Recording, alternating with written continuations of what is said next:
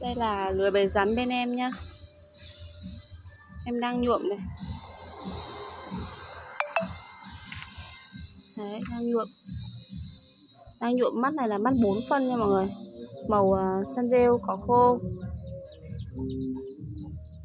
Đấy. Đang nhuộm lưới. Màu lên màu rất là đẹp luôn này. Đấy, bao ngụy trang cho anh em luôn. 4 phân thì mọi người bẫy từ ờ, 0,5 lạng cho đến tầm 3 kg nhá.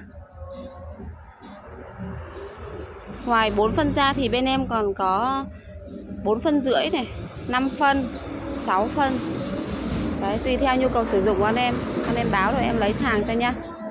Một tay như thế này thì dài 10 mét này Chiều cao là 50cm này. Đấy, 50 nhá. Chất liệu lưới là lưới dù thái. Rồi anh em có nhu cầu đặt lưới thì liên hệ số điện thoại em để trên video clip nhé